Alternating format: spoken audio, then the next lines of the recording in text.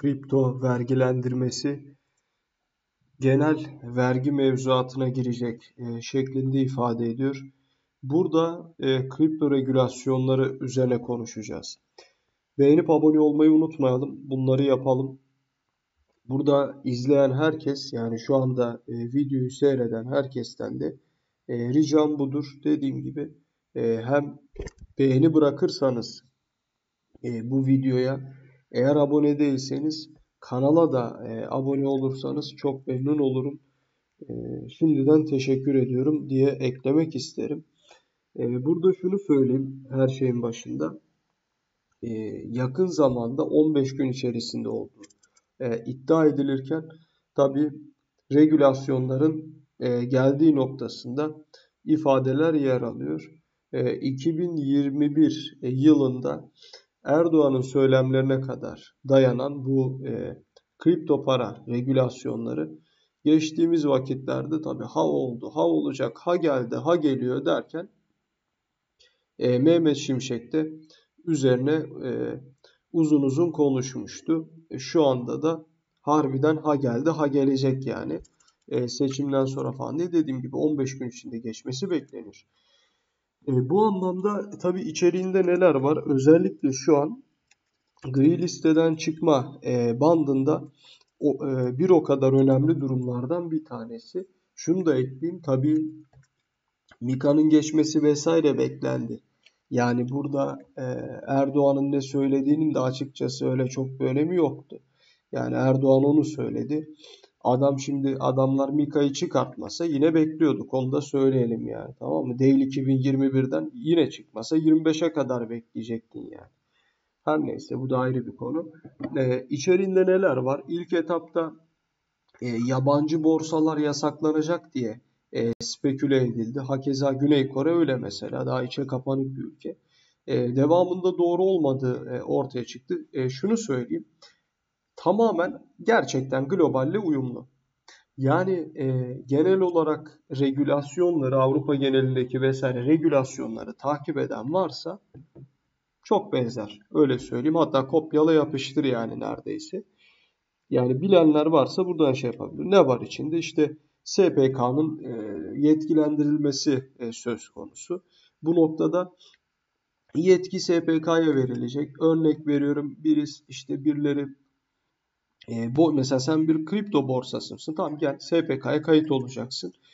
E, belli bir tabi e, sermaye gerekliliği oluyor. Yani şöyle söyleyeyim. İşte bizim Türk borsaları falan var ya Paribu olsun şudur budur. Yani bunların faaliyet gösterebilmesi bakımından belli bir sermayesi oluyor.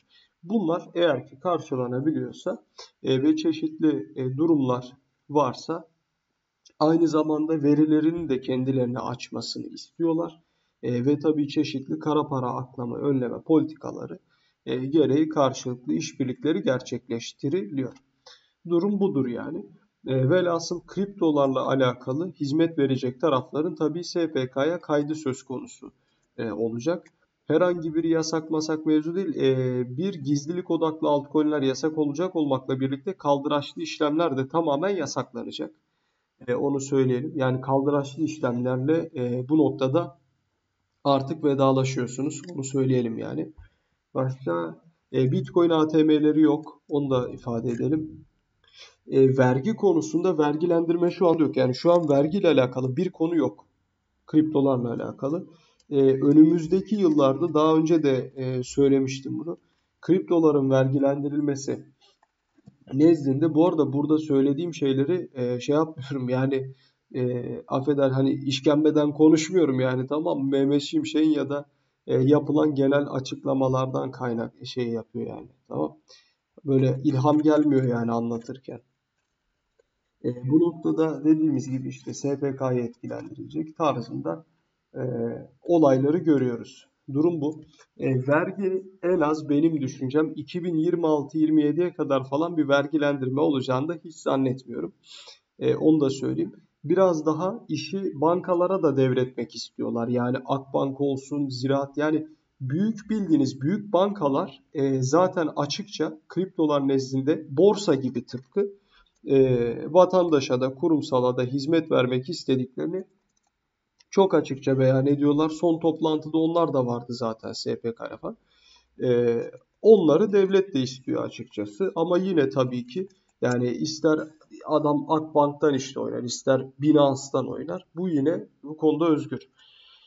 Yani e, hani yasaklı ya da gerçekten de kısıtlayıcı vesaire değil. Tam böyle Avrupa ile uyumlu hareket ediliyor. Gri listeden çıkması için önemli adımlardan biri olan kripto varlık düzenlemesine sona gelindi. AK Parti kurmaylarından edindiği bilgilere göre daha önce kamuoyuna yansıyan taslağın aksine düzenleme ayrı bir kanunda değil, sermaye piyasası mevzuatına yapılan eklemeyle yapılacak diyor. En geç 15 gün içinde TBMM başkanlığına sunulacak ve Mayıs ayında kanunlaştırılacak uzun süredir üzerinde çalışılan düzenleme son şekli önümüzdeki hafta verecek. E, abi inşallah. Yani şöyle bir durum var çünkü e, kripto taslağı nezdinde şunu söyleyeyim ben size. E, Ocak'tan beri bekliyoruz yani tamam mı? AK Parti kaynaklarından edilen bilgilere göre kripto varlıklarla ilgili yasal düzenlemenin tek başına kod kanun yerine SPK'da yapılacak değişikliklerle meclise sunulacaktır. Sermaye piyasası kanununda diyor yapılacak değişiklikle kripto varlıklara sıkı denetim getirilerek kara paranın aklanmasının önüne geçilecek. Varlıkların ihraç ve dağıtım yasal düzenlemeyle belirlenecek. Kripto varlıkların alım ve satımını yapanların uyacakları ilkeler yasal düzenlemeyle belirlenecek ve denetim altında tutulacak şeklinde ifade ediliyor. Aynen öyle. SPK sorumlu olacak. E, saklama hizmetlerine yönelik tanımların da yapılacağı yasal düzenleme ile diyor e, kripto varlıkların denetiminden SPK sorumlu olacak. E, lisans olmak üzere diyor tüm izinler SPK'dan alacak. AK Partili kurmayları diyor söz konusu düzenlemede vergi uygulamanın yer almayacağı da altını çizdi.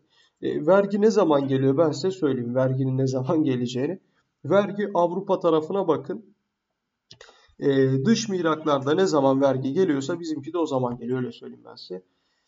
Herhangi bir devlet garantisi söz konusu olmayacak. Ancak risk içeren bir yatırım aracı olması sebebiyle kripto varlıklara yönelik yatırımcıların okur yazarlığının artırılması öngörülen düzenlemeler kanun metninde yer alacak. Ee, bakınız çok kısa bir parantez geçeyim. Adam diyor ki sen burada para kaybedersen kriptoda biz sana buradan bir tazminat vermeyeceğiz devlet olarak. İkincisi hani sürekli Reader'dan gem vurdular ya Recoin işte bir sorun değil. Adam diyor ki bir kripto paranın alımı ya da satımında e, bir tabii ki her yerde bunun riskine dair söylemler olacak. Lisansları SPK'da verilerek diyor aracı şirketler için yüksek sermaye yeter e, yeterlik şartları getirileceğinin altını çiziyorlar. 3 ay, 6 ay ve 1 yıllık denetim raporlarının oluşturulacağı ifade ediliyor. Evet, e, önümüzdeki vakitlerde tabii ki e, geliyor diyebiliriz. İzlediğiniz için teşekkür ediyorum. Abone olup videoyu da beğenebilirsiniz. Bol kazançlar diliyorum izleyen herkese. Hoşçakalın.